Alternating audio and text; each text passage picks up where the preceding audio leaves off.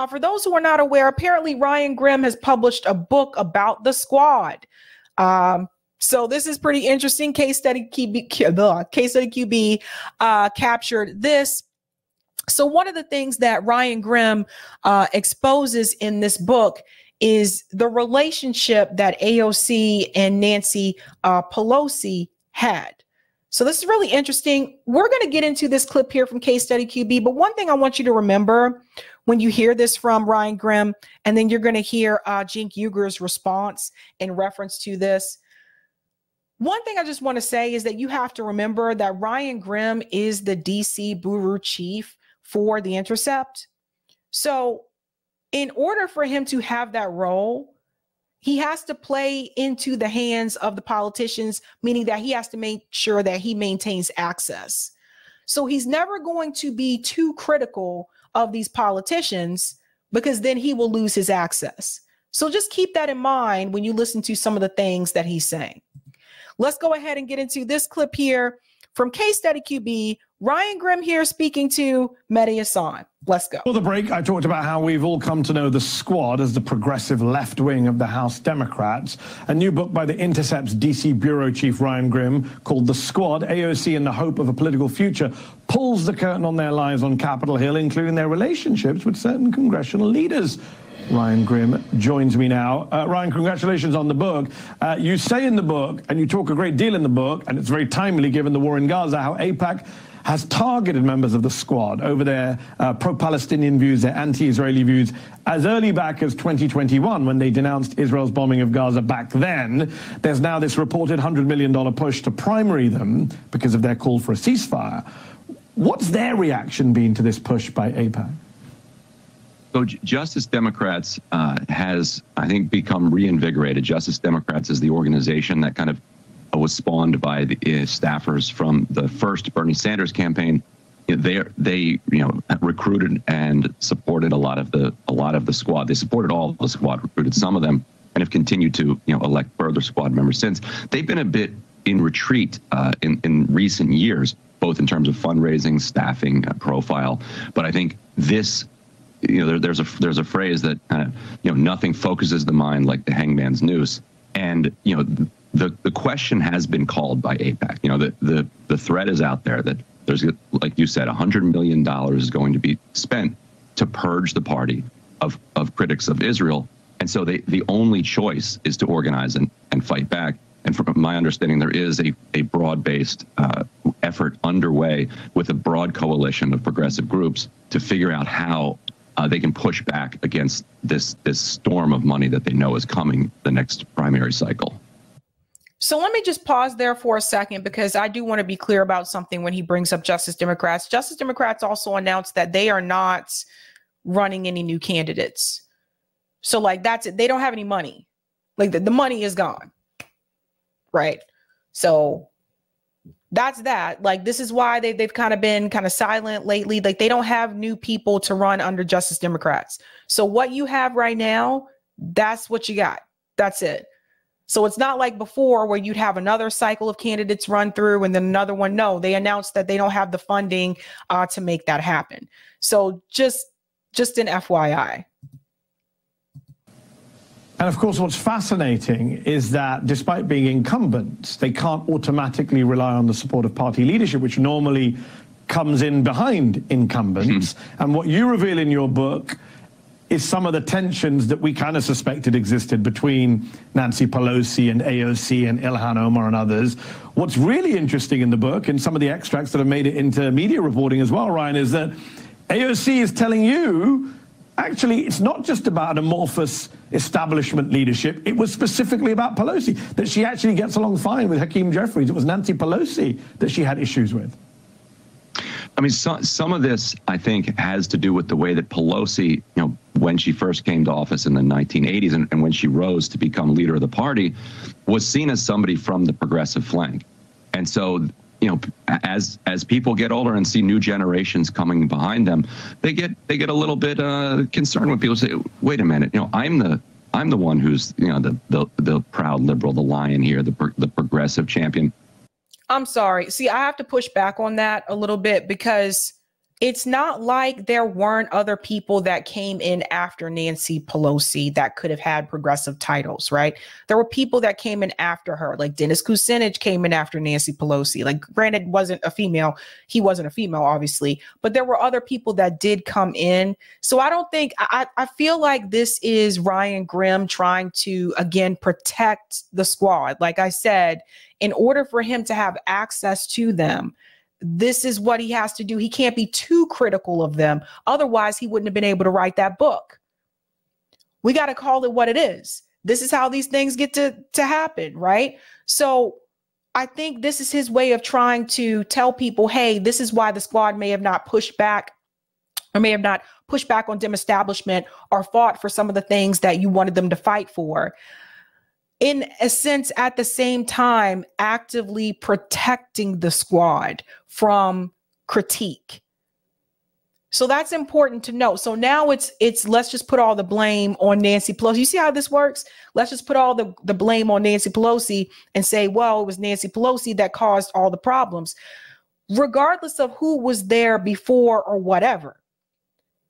You had a job when you signed up and you took that pledge with Justice Democrats, you were supposed to do certain things. And one of those things was to immediately, as soon as you had that narrow, that narrow majority, you were supposed to force that vote for Medicare for all. This is straight from the DSA handbook. It's not like I came up with this, right? And they chose not to do that. So you have to understand, I, I don't need to read this book. I don't even need to read it because all I know is this is just one big book to try to find a way to protect the squad and try to revamp their image because their image isn't good anymore. It's just not. So he's saying that AOC said that she had problems with Nancy Pelosi. Nancy Pelosi was the problem, but she doesn't have these issues with Hakeem Jeffries. Let's continue. And she would she would often tell the squad and and tell uh, protest groups as well say you know, I've got uh, protest signs in my basement uh, that are older than you. Yes. Uh, and whereas A- AOC responds, well, okay, but mine aren't mine aren't collecting dust, and that really gets to the the tension there. And so, uh, but now that Hakeem Jeffries is leader, uh, the party is in the minority, and it's not as if and and so it's I think it's kind of easier to organize your caucus in the minority because you're just fighting against the majority party. You don't have kind of decisions to make over what your agenda is because you're not going to be able to pass an agenda anyway. So there's also more of them, Ryan, right? There's, there's Summer Lee and there's Cori Bush, uh, in addition to the original quartet. And I wonder, what does the future look like for the squad? Because at one point they were seen as the future of the Democratic Party, dragging it leftward. You had Bernie Sanders, you know, as runner-up to Joe Biden. He's not running for president again. Biden is running again. Uh, you're getting some guests uh, joining the discussion, I can see. Um, so uh, tell me this, Ryan. What is the future of the squad? Are we actually going to see a weakened, smaller squad, a weakened, smaller left come November 2024?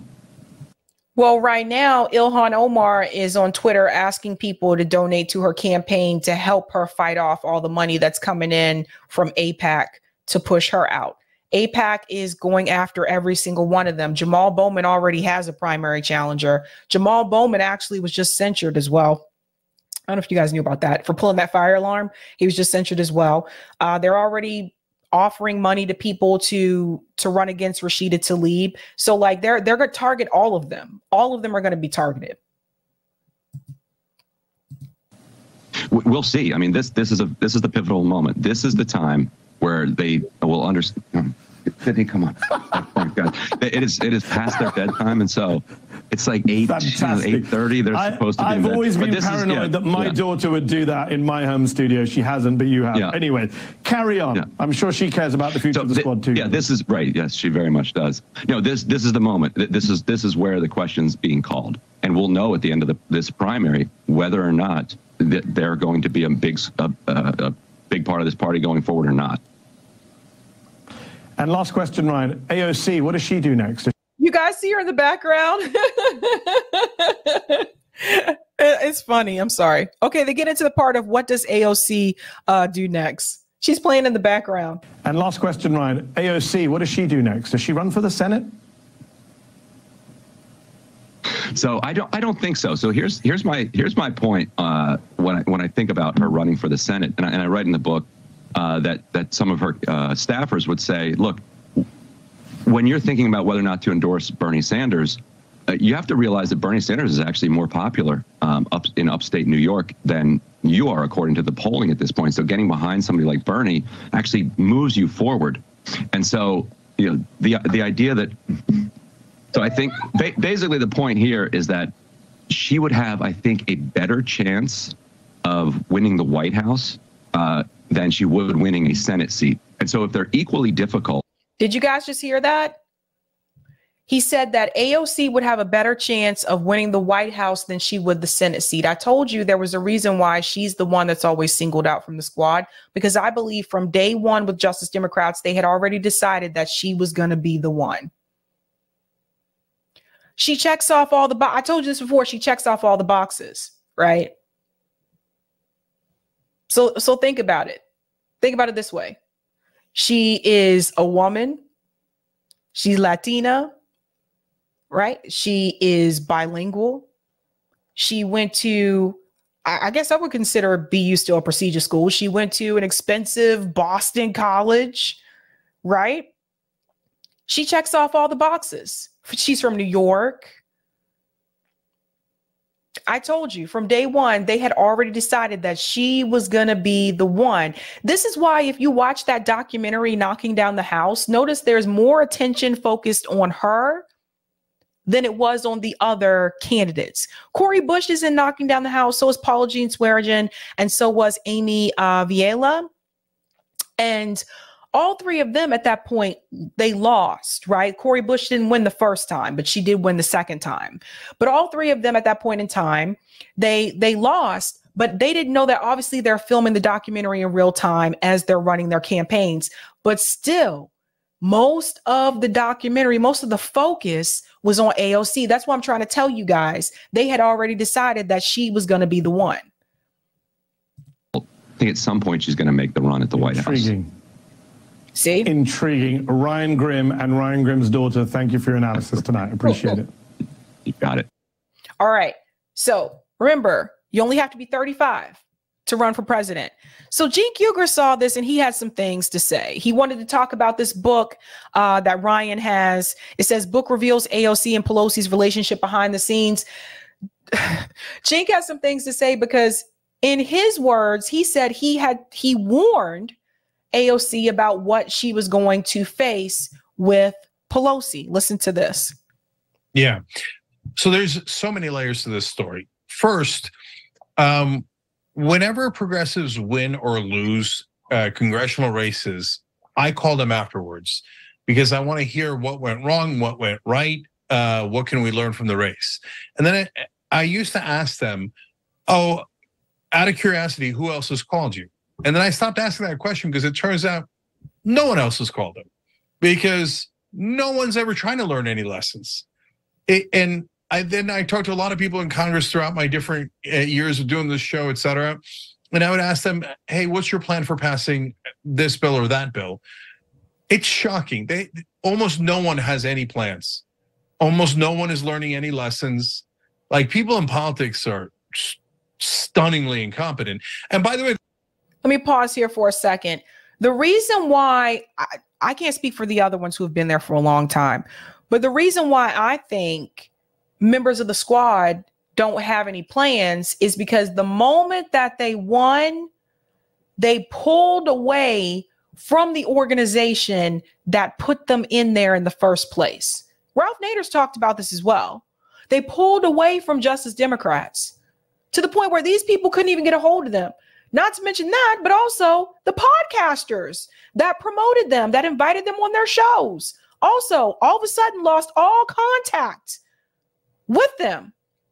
All of a sudden, they didn't want to talk to them anymore. So, once you leave that apparatus that actually put you in that position in the first place, then you're kind of on your own. So, they had no coaching, no tips, no nothing, none of that stuff. But that was their choice. They chose to do that. So you got to keep in mind in reference to that when Cenk talks about this, he has to understand they made those decisions. They chose to cut off the organization that actually could have had their back the entire time, just like they chose to cut off the people who supported them in the first place. That's exactly how AOC and honestly, we beat Joe Crowley right? So we started just Democrats right here on Young Turks. You guys saw it happen with your own eyes. And and nobody thought we can get anybody elected. And then boom, we knocked out Joe Crowley in one of the biggest political upsets of all time. Now, AOC obviously the biggest part of that. But I would argue that the second biggest person involved is Saikat Chakrabarti, the person that you just mentioned there. He was the head of Justice Democrats, then he was the campaign manager for AOC, and then her chief of staff. And then uh, another absolutely pivotal person there was Corbin Trent, who was communications director, again, for all three of those things Just Democrats, then AOC's campaign, then uh, her congressional office. And what is amazing is after all this time, after one of the greatest upsets in political history, no one's ever asked Troy Cotton Corbin to run another campaign. Well, other than me. Okay. but like, isn't that unbelievable? And there, but there is a reason why. The reason is they don't want to know because they want to run campaigns that maximizes the amount of money that those consultants make. And you maximize the money by spending as much as humanly possible because they're going to the campaign managers or consultants usually get 15% of how much you spend in advertising. So they have an incentive to run the world's worst campaigns the more inefficient the campaign is, the more money they're going to make. Isn't that crazy? So basically, think about this, guys. Basically, what he's saying, I looked into this too. Basically, what he's saying that if you are a campaign manager, you actually financially you come out better if you're running a campaign that's actually not doing well. In other words, they don't really want to win. So if Saikat and AOC and, and us, we all come in and we tell them how to run efficient campaigns, they're like, well, I don't want to hear that. They're like, oh, no, no, no, don't let him near, anywhere near the candidate, because then we won't be able to rob the candidate nearly as well as we do now. And and guys, but more importantly than all of that is, these people in DC are fossils. I mean, they came up in politics like 90 years ago. And they're like, you know, politics is local. That's what Tip O'Neill said. Look, guys, that was 280 years ago. All politics was local because uh, people got their news from local newspapers. Local newspapers barely exist anymore. People get their news online and in cable news, etc. It's not lo local at all. All politics is national now. So they're just they can't adjust at all. They don't want to adjust. So that's the political side of it in terms of campaigns. Now, Let me just add something here in reference to politics being uh, local. One thing I want to say is this mm, we've been able to accomplish a lot more on the local level than we have on the national level in reference to progressive policies. I'll say that for sure. Sorry, but that's a reality. When you look at some of these policies, legalizing marijuana, wealth tax, increasing the minimum wage, We've been able to pass those on the local level. Those things have not passed on the national level. Can you believe in 2023 they still have not decriminalized marijuana? Even I'm just going to say decriminalized. Let's just start with a baby step, not legalize. They won't even decriminalize marijuana on the national level. That's insane when you think about it. That's crazy. So sorry, Cenk. Most of the wins have been happening on the local level.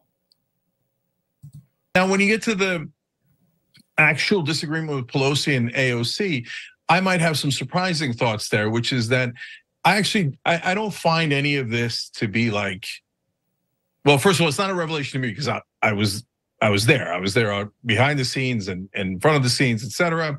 Uh, but it's a great book. Don't get me wrong. Ryan Grim's great. Uh, his other books on shoptyt.com. We should put that up there, uh, there as well. And Ryan's been a TYT contributor. Uh, but of course. But more importantly, I like in the beginning, AOC challenged Nancy Pelosi, and that's what Ryan writes about. And that's when Saikat and Corbin were there, and that's when we were in insurgency. That's when we were in open rebellion. But after Saikat and Corbin were shown the door about six months in, I haven't seen a rebellion since. Uh, so that's again another example of cutting off the people who were actually there to guide you. So when she protested outside of Nancy Pelosi's office, that was actually on the right. That was the right thing to do. That was the right thing to do.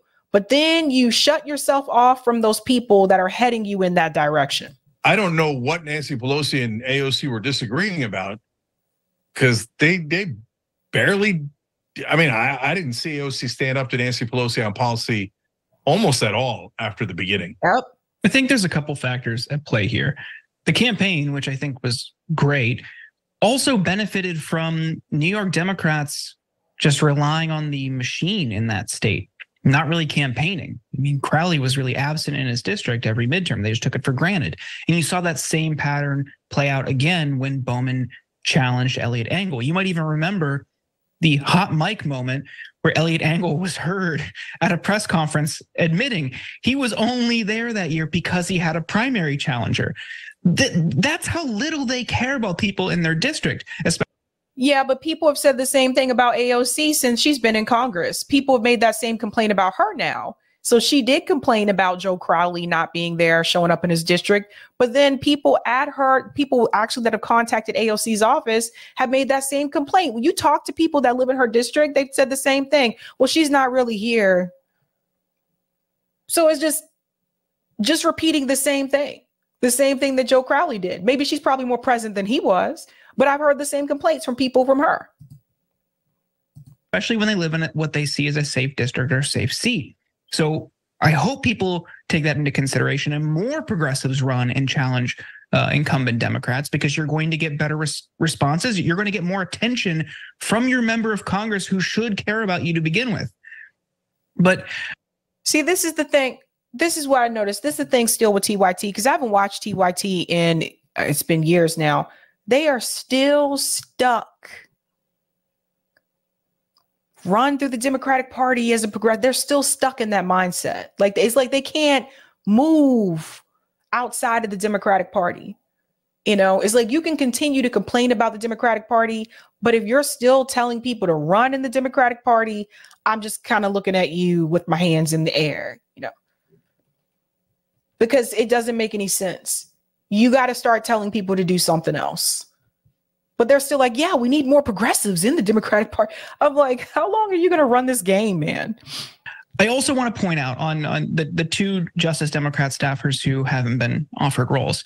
It's a really difficult environment to navigate because not only does the DCCC have all this infrastructure and all these vendors, they'll blacklist anybody who works for progressives. So you, if you want to work and have a long career in in politics, you kind of have to make that calculation. And look, there's a lot of people who are just in it for money. I don't think that's the way you should operate professionally, but sadly there are. And when they see, hey, I can go work for someone whose views align with mine more, or I can go and not be blacklisted and work on some no name uh, moderate who probably won't win, but at least I'll get future jobs. And that's a calculation, sadly, a lot of people need to make because of this blacklist. So to me, all that says again, it just points back to what I've said over and over again, which is that doing this through the Democratic Party is not getting you anywhere, right? You know, you have all these hurdles that you're up against. Uh, it just does not make any sense, in my opinion. Sorry, but it doesn't.